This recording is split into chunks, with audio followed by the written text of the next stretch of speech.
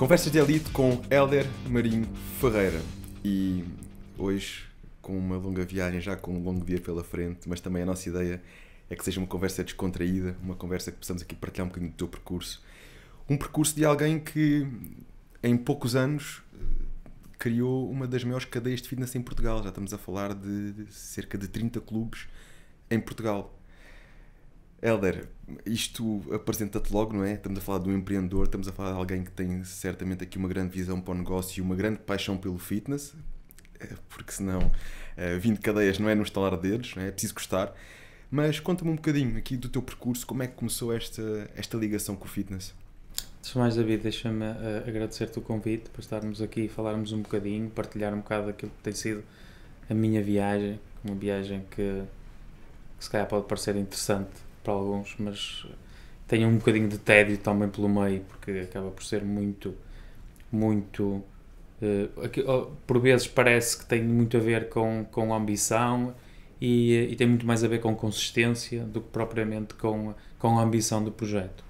Quando tu dizes este, quando tu dizes e falas que é natural uh, ser altamente apaixonado pelo fitness, pelo facto de ter construído aquilo que, aquilo que nós estamos a construir, e quando digo nós, porque isto é um projeto que de todo não depende, não depende de mim, depende de toda uma equipa que, que tem construído e que tem desenvolvido, tem desenvolvido este projeto, na qual eu sou um felizardo pelo facto de, de estar a liderar toda, toda esta equipa, mas na verdade hum, não tem muito a ver com a minha paixão pelo fitness, tem muito mais a ver com a minha paixão por marcas e pelo desenvolvimento de marcas, de projetos, de ideais, de ideias e, e se calhar um bocadinho da minha teimosia de acreditar que nós podíamos fazer um, algo diferente no mercado, podemos trazer um conceito que eu acredito que está muito inacabado, tenho uma visão ainda bem maior do que aquela que, que é hoje o Fitness Up em Portugal. Uh, certo que estamos a chegar aos 30 clubes, temos neste momento 28, temos já em pipeline uma dúzia deles, e, eh, e vamos continuar a, eh, a, fazer disto. Enquanto houver pessoas a acreditarem no nosso projeto, nos nossos valores, nos nossos ideais, nós vamos continuar a abrir novas unidades e a juntar mais pessoas. Consistência, não é? E é aquilo que muitas vezes o pessoal um, eh, espera que as coisas caiam do céu, mas realmente é a consistência, é ano após ano, dia após dia, mês após mês e o trabalho é fazer de forma consistente, acreditar e ter a visão lá no fundo. Mas como é que nasceu esta tua ligação ao fitness? A long, long time ago. Uh, eu comecei, eu comecei por acaso a trabalhar na recepção de um, de um ginásio em, no norte, em Portugal, uh, Vila Nova de Famalicão. Estou, uh, inclusive, esse, esse ginásio faz hoje parte da rede. É um ginásio do qual, do qual uh, faz também parte da rede Fitness Ups, tendo, estando a operar com outro, com outro nome, que é o Ogénios. E, e é um bocadinho por aí. Comecei a trabalhar na recepção, as coisas foram acontecendo o meu percurso profissional depois acaba por passar muito pela, pela área da gestão, até porque eu, eu comecei a tirar um curso de um curso de licenciatura em gestão, terminei o meu curso de licenciatura em gestão enquanto trabalhava na recepção, uh, comecei a olhar para o projeto e para o fitness com outros olhos, comecei a perceber que podíamos fazer coisas diferentes do que aquilo que acontecia na altura, está quase há 20 anos atrás, e, um, e fui subindo até inclusive dentro da empresa, até ser uh, diretor do clube. E uh, na altura, na altura, depois de ser diretor do clube, achei que não fazia sentido continuar no projeto, porque, porque a visão que tinham para o projeto não era, era, não era de todo a minha visão. Acabei por sair do projeto, isto resumindo, uh, saí, saí, do, saí do, do projeto na altura, isto é em 2007, a empresa entrou em processo de insolvência pouco tempo depois, fui convidado a. Foi-me oferecida a possibilidade de eu ficar com, o, com a gestão do clube. Ou seja, entregavam-me o clube a troco de uma, a troco de uma renda. E uh, agarrei, agarrei o projeto e pronto, estou aqui hoje. E, e, o que é que, à partida, viste que te fez mudar uh, na, naquele clube, na forma como aquela visão estava a ser uh, tomada, aquela gestão estava a ser feita, uh, e, e, e, realmente recuperar recuperar esse primeiro clube? Porque no fundo foi o que aconteceu, certo? Sim. Quando se olha para os negócios e eh, com um propósito único de. E era aquilo que eu sentia. Se o propósito único é o dinheiro, vai contra todos os princípios daquilo que tu estás a oferecer, a oferecer aos clientes. Tu tens, tu tens que, não é, não é quantas pessoas pagam, tu tens alguma coisa em troca que é o valor que lhes estás, que estás a oferecer. Quando as pessoas percebem que tu, a troco do, do custo que elas têm, não lhes ofereces o valor suficientemente grande ou pelo menos perceptível, que muitas vezes não tem a ver só com, o, só com aquilo que nos custa a nós, quanto, enquanto empresários, eh, enquanto empresa, oferecer ao cliente, mas aquilo que é perceptível do lado do, do cliente, seja ao nível das instalações, ao nível das qualificações dos nossos técnicos, da equipa de trabalho, do serviço, tudo isto, se não for perceptível do lado do cliente, que é mais do que aquilo que eles pagam, aquilo que tendencialmente acontece é que começámos a perder clientes. E era o que essa empresa, era a forma como essa empresa era gerida na altura. Era o única, a única meta final era, era os resultados. E, hum, e os resultados nunca aconteciam. Não aconteciam. E, e aquilo que eu entendia é que a política estava errada. Estavam a olhar, estavam a olhar única e exclusivamente para o Excel, olhar para cortar custos, em vez de proporcionarem uma experiência diferente e, eh, e, uma proposta de valor diferente para o mercado, até porque eu achava que na altura a Famalicão não tinha mais, praticamente mais nenhum clube, tinha muito potencial, o mercado estava a crescer, comprovou-se com, com, com o que aconteceu mais à frente, com o facto de eu ter gerido o, o espaço e, eh, e as coisas foram-se transformando. Nós alterámos as condições das instalações, recortámos mais pessoas, ou seja, fizemos praticamente o trabalho contrário àquilo que estava a acontecer que era cortar nas pessoas, cortar, no, cortar nos espaços, chegava ao ponto de quase de desligar, vamos todos desligar a luz entre as duas e as três horas da tarde porque não tem, não tem cá ninguém. Isso para, e no meu entendimento aquilo era, era o, o princípio do fim. E efetivamente foi, até, até nós termos acreditado que, que podíamos fazer um trabalho diferente, mesmo ao nível da comunicação, que é algo que, que também me apaixona, a construção de marcas. Foi isso que fizemos no, eh, nesse primeiro clube. Então vocês têm esta parte da comunicação bem vincada, eh, o marketing bem vincado na, na, marca, que é a forma como comunicam, os vídeos que fazem, as mensagens que passam eh, e procuram sempre também focar muito em, em princípios basilares que defendem. Isto que, que, requer também um grande esforço a nível de, de uma equipa de, de marketing focada e, e, direcionada para, para esta vertente. Como é que identificaste inicialmente, porque acredito que isto também tenha partido de ti, em conjunto com a tua equipa, estes pontos que vocês tanto defendem, que é a sustentabilidade, a superação, uh, o que é que te fez realmente agarrar estes pontos uh, e, e partir a vossa comunicação a partir daí? Uh, isto é um processo que, que se calhar parece muito simples, mas é um processo que, que cresceu ao longo do tempo.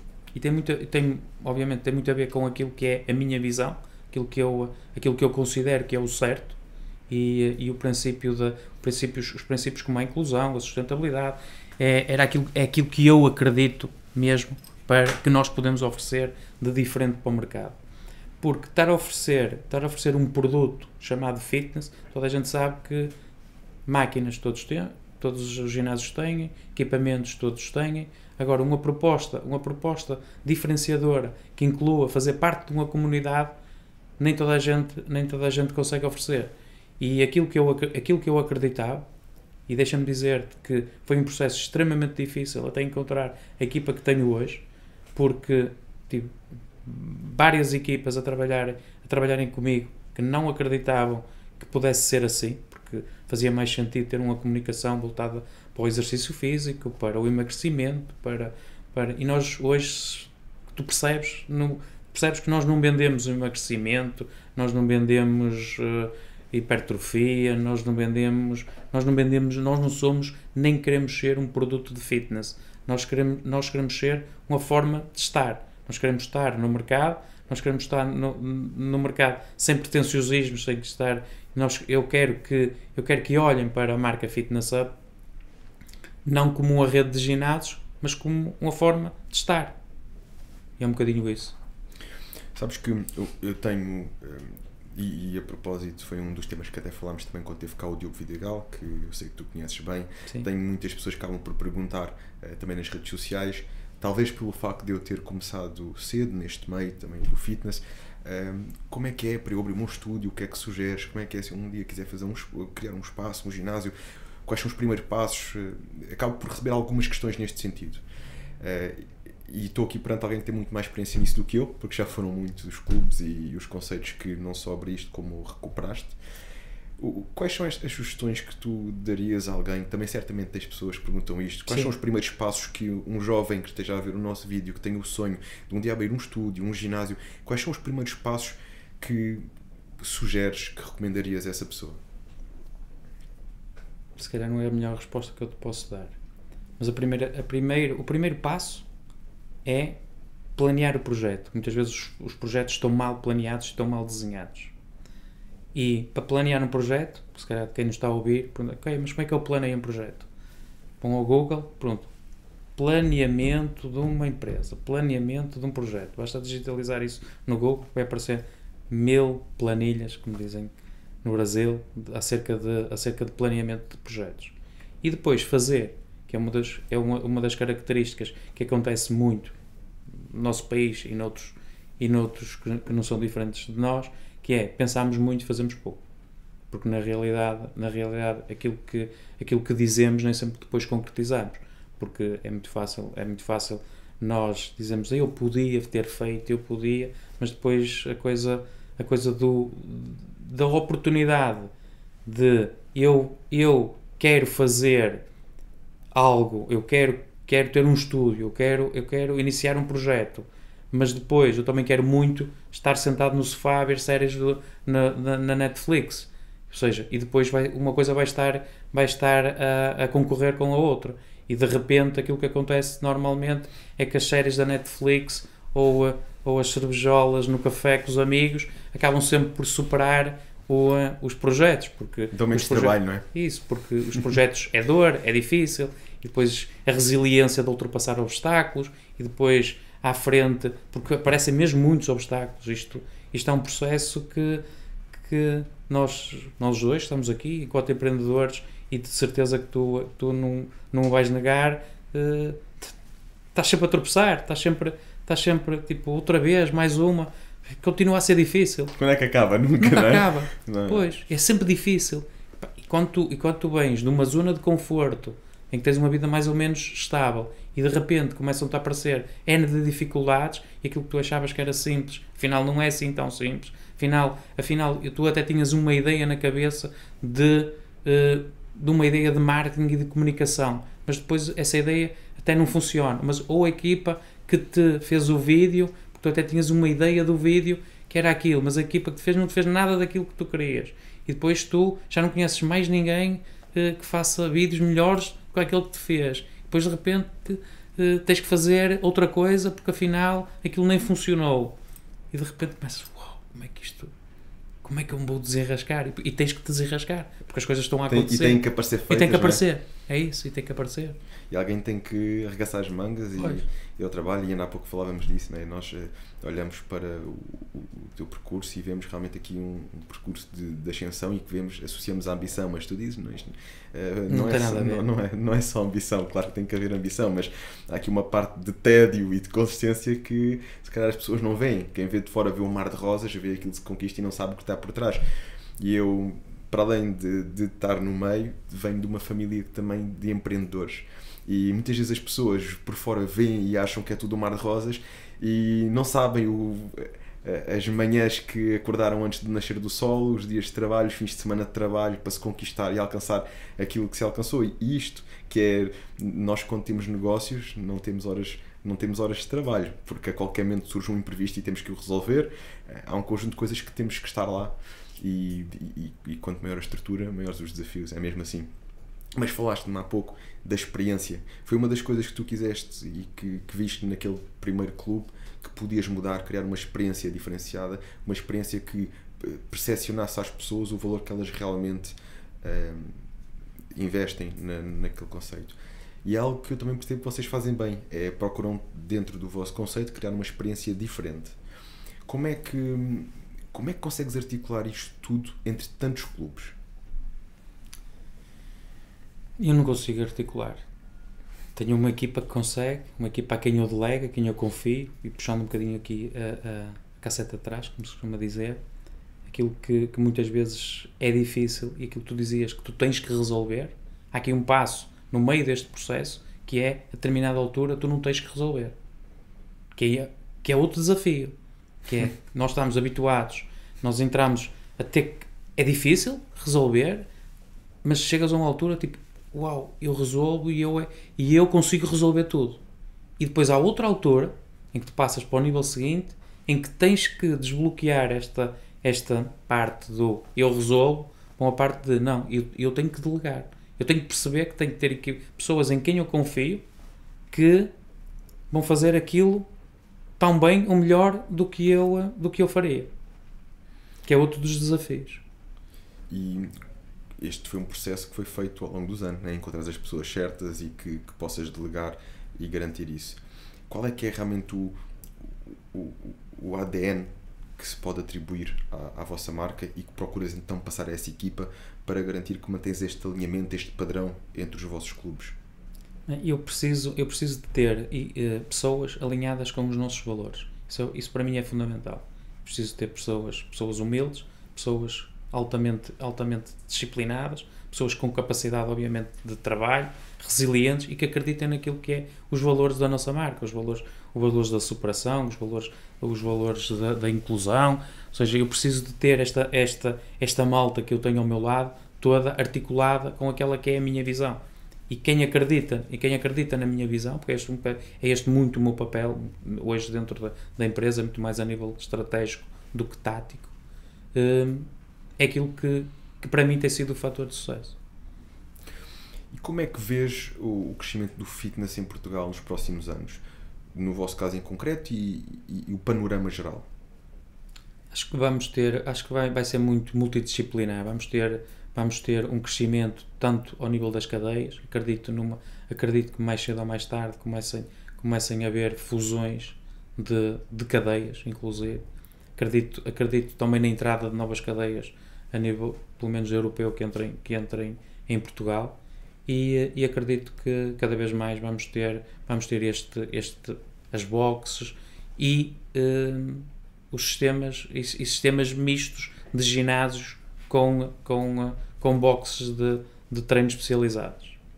Sim, as boxes, aliás, até foi uma coisa que agora revelou-se bastante sim. os estúdios, as boxes. Sim, de, e quando digo os boxes, as boxes de treino especializado, sim, seja, sim, seja ao nível, de, seja ao nível do, do cycling, seja ao nível do, do dos pilates, das, uh, das modalidades de combate, que acho que é outra das, outra das, dos, das, das modalidades e dos, das, das, dos estudos que vão crescer imenso em Portugal, não tenho dúvidas nenhumas, que é nas modalidades de combate, que estão a trazer, principalmente do Brasil, novas modalidades, que estão, que estão sempre a aparecer e, eh, e acredito que o caminho será por aí são as trends, no fundo, não é? As modas Sim. que vão também surgindo Sim. e que temos de uma forma de, de, de, nos ir adaptando e perceber aquilo que faz, que faz sentido.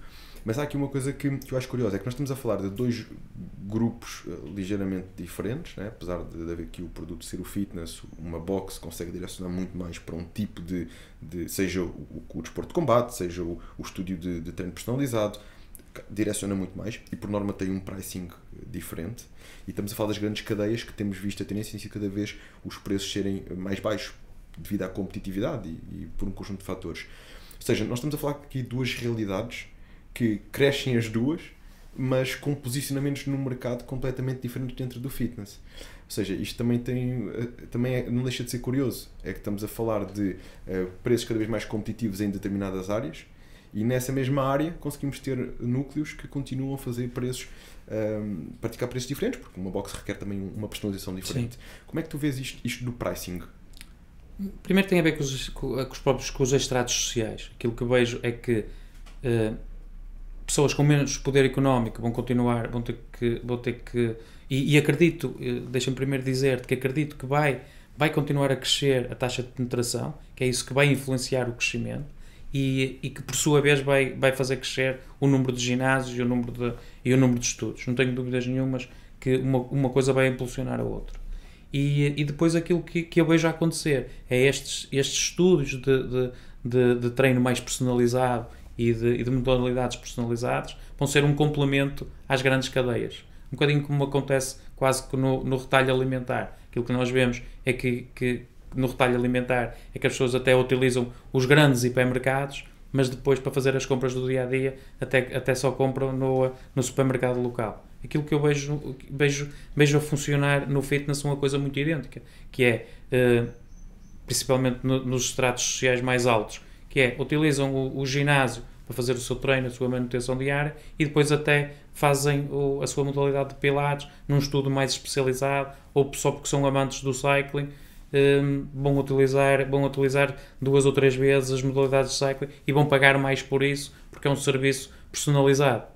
Será como um complemento, ou seja, quem, quem tiver realmente essa possibilidade de fazer um investimento extra ir fazendo essas modalidades à parte em estúdios cada vez, aos passos cada vez Sim. mais específicos. E com capacidade para pagar, depois tem, tem, também tem muito a ver com isto. Sim, isto é uma coisa que, que tem vindo a acontecer, é o crescimento, a taxa de penetração, apesar de tudo, e claro que nós gostaríamos que fosse muito mais rápido, que houvesse já muito mais pessoas a praticar exercício físico, como há em alguns outros países da Europa, mas apesar de tudo tem sido algo que está a evoluir.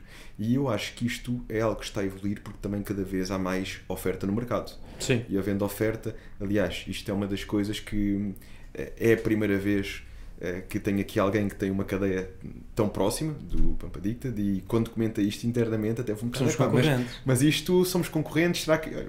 Eu acho que nós temos aqui um propósito maior que é um propósito de cada vez mais trazer pessoas, uh, motivar pessoas, inspirar pessoas para a área do fitness. E eu acredito que quando isto é feito, quando isto é feito genuinamente e com o teu conhecimento, com aquilo que eu posso acrescentar, nós vamos sempre ganhar todos. Porque no fundo é isto que um ginásio novo faz quando chega a algum lado. Um ginásio novo vai comunicar e muitas vezes vai levar pessoas a fazer exercício físico que nunca fizeram. Porque é novidade, porque aquele conceito até atraiu, porque não é? e, e a gente sabe que depois as pessoas ficam ali, como depois ganharem o gosto, podem experimentar outros, e, e é assim. E, e, e, apesar de tudo, cresceu. Ganhou mais pessoas Sim. no mercado e mais pessoas a praticarem. Como é que tu vês esta, esta vertente da concorrência? Porque apesar de tudo, cada uh, área é uma área, já estás em, pelo país todo, começou no norte, estás, já estás de norte a sul. Como é que tens visto isto da concorrência e que, que na prática? Na realidade, na realidade, deixa-me dizer, nós não somos concorrentes, os nossos negócios é que são concorrentes. E, e, não, e digo isto porque, por vezes, às vezes sinto, sinto que neste mercado, principalmente neste mercado, eh, há muitos operadores que se sentem concorrentes enquanto pessoas sentem-se concorrentes uns dos outros. O que me estranha por vezes, mas às vezes sinto isso. Uh, só uma partilha. Uh, depois, o que, o que é. Uh, eu nos, no último, nos últimos anos não tenho sentido, além que muita gente fala que tem, tem, fechado, tem fechado imensos ginásios, eu honestamente não tenho sentido um, a fecharem assim tanto quanto isso. Ou seja, eu acredito é que algumas unidades que já, que já estavam completamente ultrapassadas e que, e que já deviam, se calhar, estar encerradas ou que já estavam praticamente encerradas, e tivemos foi aqui este fator também da pandemia que ajudou oficializou a, oficializou. a tomar a decisão. Porque aquilo que eu aquilo que eu tenho sentido é um crescimento do um crescimento total do mercado. Até porque uh, este clube do Montijo uh, é onde nós estamos uh, posso-te garantir que perto de 90% dos nossos clientes não estavam inscritos em nenhum ginásio. Ou seja, por isso, no máximo, entre, entre, entre todos, todos os operadores que, no, que, que existia aqui no Montijo, o máximo que eu podia ter retirado para o Fitness Up são os tais 10%, que é, é um Entre os vários ginásios da zona, não é? Exatamente, que é irrisório. Ou seja, aquilo que nós, aquilo que nós, o nosso concorrente era o, era o, era o sofá. Foi onde nós conseguimos, foi onde nós conseguimos uma maior taxa de penetração, foi contra o sofá. E, e ganhamos efetivamente bastante público. Mas não tenho dúvidas que o facto de abrir uma nova unidade no Montijo vai fazer e faz com que os operadores locais se, se atualizem, se puxem uns pelos outros, que tentem encontrar ou que se esforcem em encontrar novas ideias, novos projetos, novas campanhas, porque é isto que no, que no final vai fazer crescer uh, o mercado, tanto o mercado local, seja o mercado, o mercado nacional. Sim, acaba por fazer o fitness também tornar-se cada vez mais competitivo e, e a ideia de trazermos melhor oferta para quem está à procura de, desses serviços, cada um dentro do seu estilo, do seu método, do seu conceito, da, da sua cultura de marca. Sim. No fundo, acaba por ser é, acaba por O ser facto, o facto de nós não, o facto de termos uma, uma baixa taxa de penetração, termos um país, inclusive termos um país muito pequeno comparativamente com o, com o resto da Europa, faz com que se nós olharmos e para quem conhece o setor a nível europeu, nós somos nós nós somos na minha opinião o setor mais profissionalizado da Europa, o setor mais competitivo da Europa. Eu não tenho dúvidas nenhumas que a, a grande maioria dos operadores que estão a operar em Portugal, sejam, sejam, sejam as cadeias ou sejam os, os operadores locais, que no, no- em mercados como Espanha, como França, como, como e por aí fora, que eram dos operadores mais fortes do, desses mercados. E o que é que achas que isto se deve? É porque realmente isso é algo que tem sido constatado. A concorrência, o facto de termos, de termos sempre concorrência, de termos uma concorrência forte, de termos, termos uma legislação extremamente apertada e complicada, faz de nós muito mais resilientes do que, do que as necessidades que nos outros países têm. Porque nós, nós, inclusive, só para abrir um ginásio, temos que passar por mil e uma, mil e uma fases, mil e uma burocracias, que só, só essa resiliência até ao dia da abertura já se torna complicado. Cria logo ali uma seleção natural, Só- não é? Exatamente, cria logo, cria logo uma seleção natural que não é para, não é para todos. Só cumprir a nossa, a nossa legislação. Depois nós sabemos que depois tudo isto que está aqui por trás, seja ao nível do, do IVA, seja ao nível da- da- das, nossas, das nossas condições, depois temos a nível fiscal, as, as, as, as auditorias que vamos tendo, seja pela ASAI, seja, pela, seja por, pelas outras entidades, as taxas e taxinhas que nós vamos tendo por tudo e mais alguma coisa. nosso, Só nosso ligamos a música. maioritário, não é? É isso, só porque ligamos a música, outra vez é porque ligamos a televisão, só porque não sei o que, lá estão- estão-nos a cobrar uma taxa. E nós temos que viver com isto.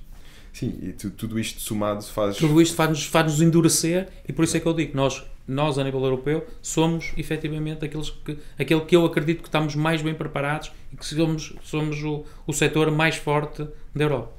E perspectivas eh, para outros mercados? Se, se houvesse aqui um mercado neste momento que eh, decidisse investir, qual seria para além do mercado português? Algum Nunca pensei muito concreto? nisso. Nunca pensei muito nisso. Para já o foco acaba por ser aqui Portugal e a ascensão. a Sim, é ascensão Portugal. totalmente, totalmente em Portugal.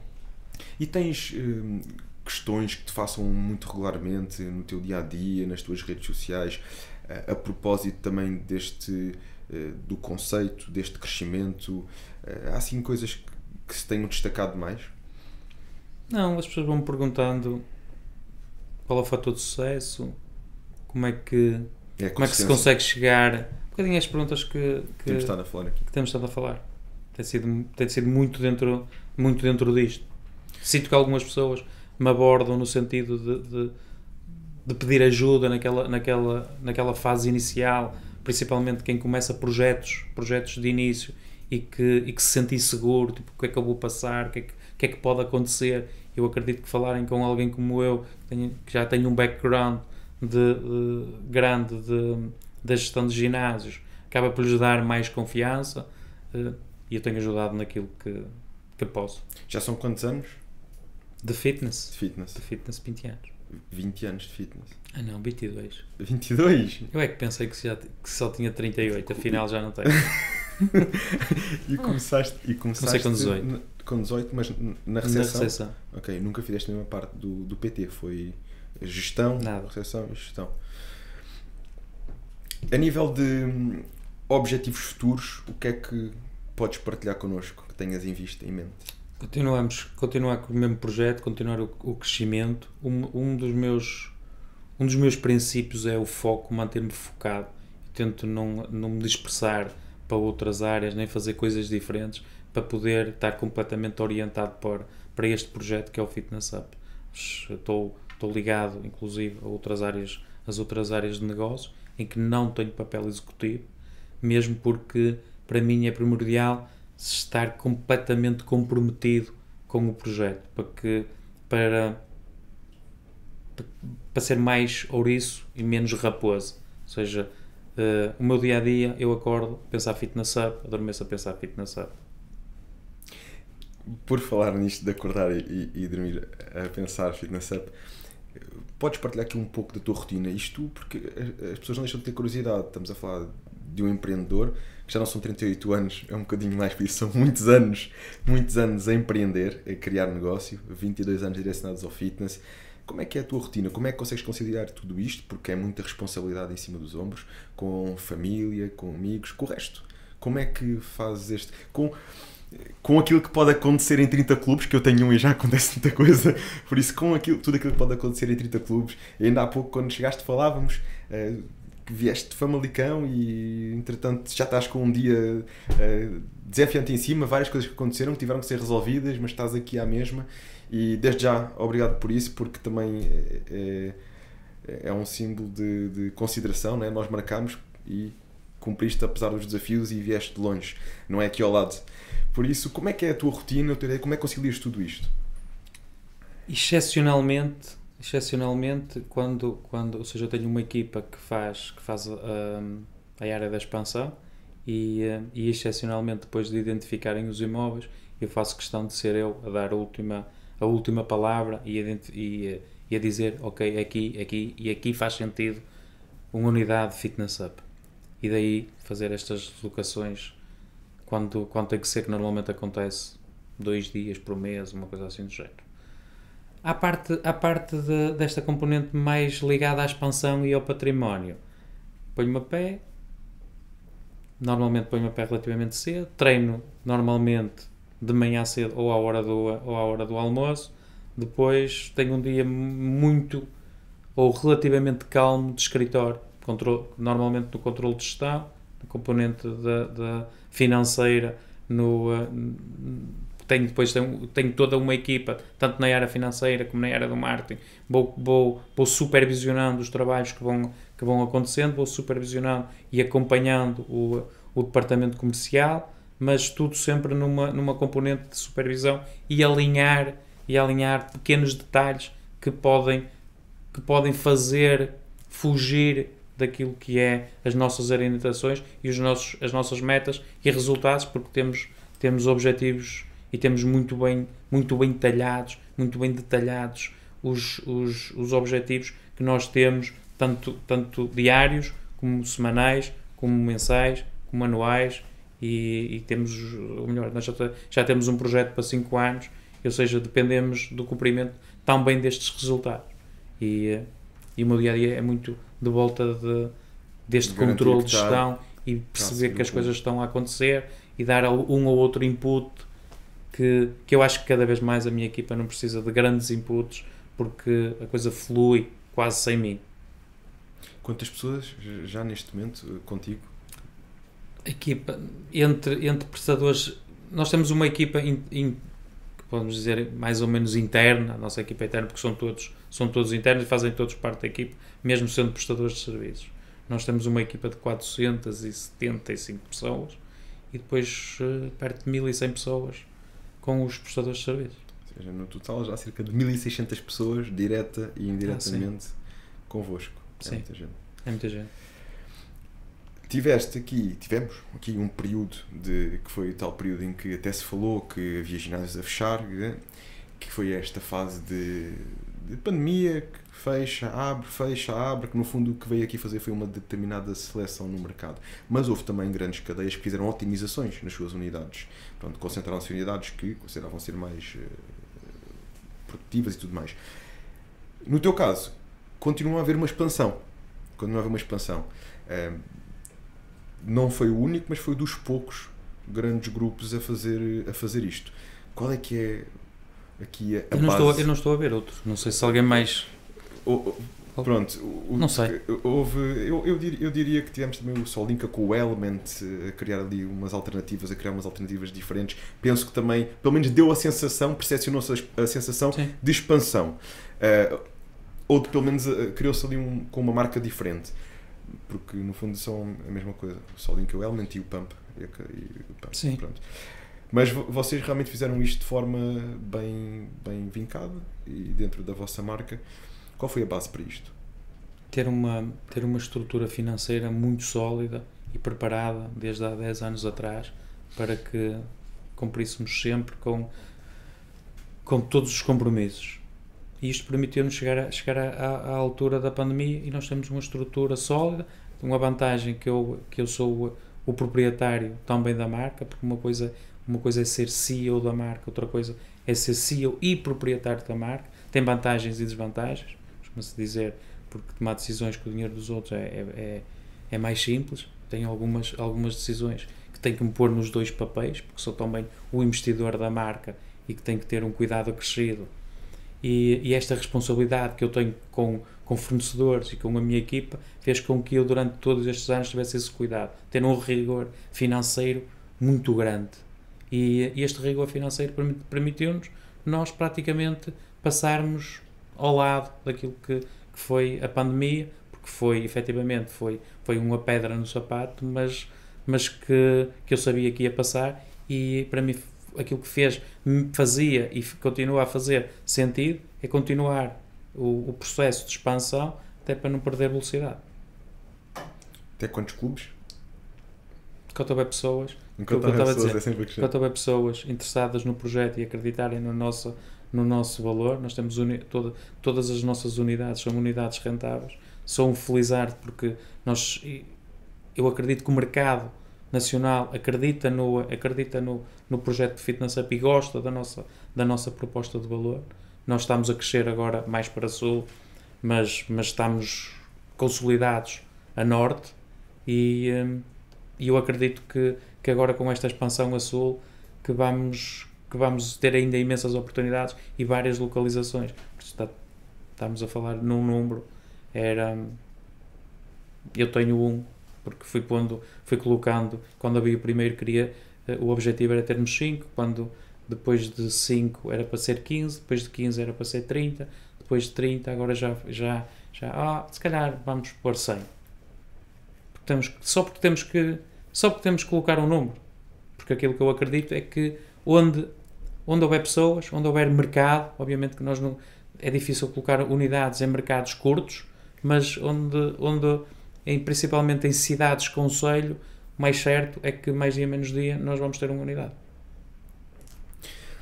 Um, isto da, da, da, expansão até 30 é um desafio, até aos 100 é um ainda maior, mas tem que, tem, tem, tem que se, depois da base estar construída, é, é fazer a máquina andar e isso certamente que saberás fazer bem.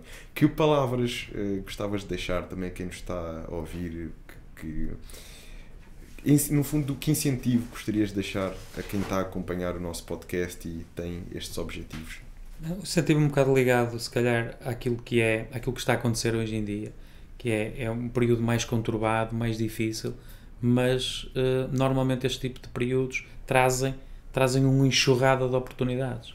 E, e em vez de nos estarmos a lamentar, vamos estar atentos e agarrar as oportunidades que o mercado vai, vai oferecer, que não tenho dúvidas que que vai oferecer ou já está a oferecer novas oportunidades que venham normalmente com, com este tipo de, de situações ou, ou, de tempos mais difíceis.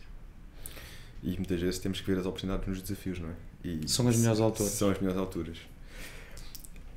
Se, se tivesses que escolher uma, um setor dentro dos, dos, clubes e temos aquela parte mais técnica dos, dos PTs, dos professores, temos a parte comercial, temos a parte do marketing, nós sabemos que todas elas são importantes, mas qual é que é aquela que te eh, que consideras mais importante para alavancar um negócio? Eu não estou a dizer que as outras não iam existir, mas qual é aquela que investirias mais, uh, direcionarias mais para alavancar um negócio? Consideras fundamental?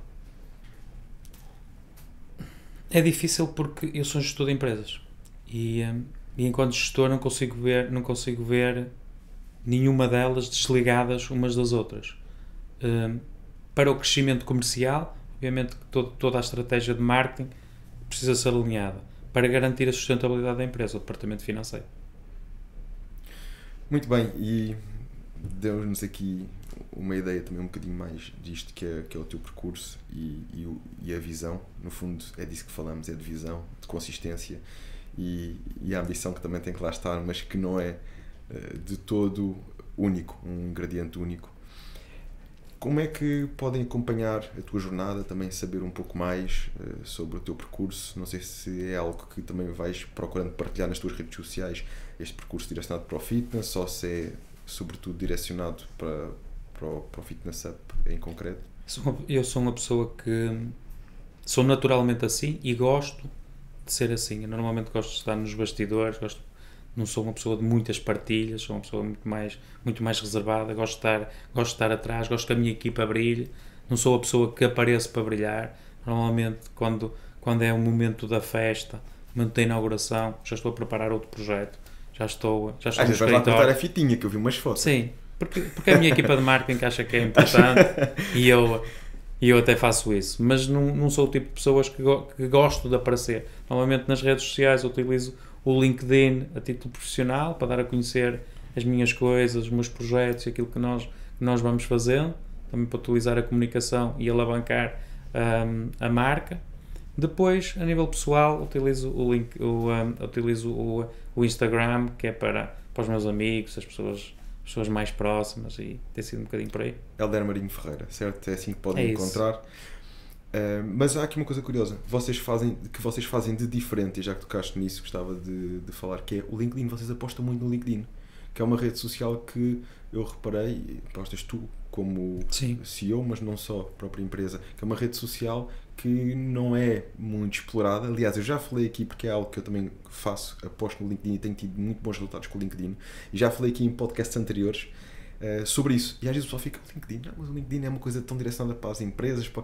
mas uh, realmente é, um, é um, uma rede social que até tem bastante potencial e que reparei que também uh, vocês estão lá presentes tu como CEO e não só. Eu sinto muito que, sinto muito que, ou seja, nós apostamos em todas as redes sociais. Um bocado o que eu dizia, se há pessoas, nós estamos lá. Tenha que ter pessoas. E o LinkedIn tem pessoas e tem muitas pessoas. E, e o LinkedIn tem muitos líderes de opinião. E que para nós também é importante. Um tipo de, um tipo de público diferente, mas que é líder de, é líder de opinião em todos, tanto no, no B2C como no B2B. E isso também é importante, tanto na nossa componente da expansão e da forma como a marca é olhada no mercado. E daí nós utilizamos também muito o, a nossa comunicação, tão bem orientar, e depois temos o cuidado de orientar a comunicação de o que é para o LinkedIn, o que é para o Instagram e o que é para, para o Facebook. Segmentam. Exatamente. São o público-alvo, Sim. fundo. Bem, está aqui uma, uma, uma excelente partilha. Foi uma conversa concisa, mas acho que fomos diretos a pontos importantes que, que realmente vão acrescentar valor a quem nos segue. E mais uma vez, obrigado por estares aqui hoje. Obrigado, eu. Por este. Obrigado pelo convite e obrigado por, por este momento e pela partilha, por este bocadinho que tivemos aqui, que acho que foi produtivo. Foi enriquecedor, sem dúvida. Já sabem onde é que podem acompanhar o Heller e também já sabem que agora contamos com aquele like, partilha e divulguem com quem acreditam que pode beneficiar com esta mensagem. Contam connosco. Contamos convosco.